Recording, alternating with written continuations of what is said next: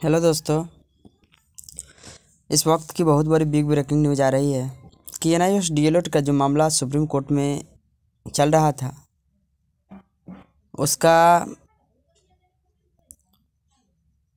सात नवंबर को जो रिज़र्व कर लिया गया था, यानी कि जजमेंट को रिज़र्व किया गया था, उसका फाइनल डिसीज़न अट्ठाईस नवंबर को आ जाएगा।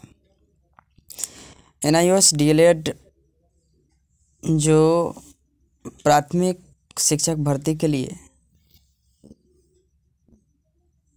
प्रशिक्षण प्रोग्राम है, उसको सुप्रीम कोर्ट में चुनौती दिया गया है कि अब फ्रेश बहाली में लागू होगा या नहीं। ठीक है दोस्तों, इस पर फाइनल जजमेंट जो है सुप्रीम कोर्ट द्वारा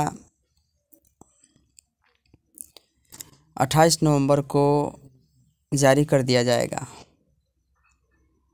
और यह अंतिम जजमेंट होगा जो N I S D L वालों के लिए उस दिन पूर्ण रूप से डिसीज़न आ जाएगा। थैंक्स दोस्तों।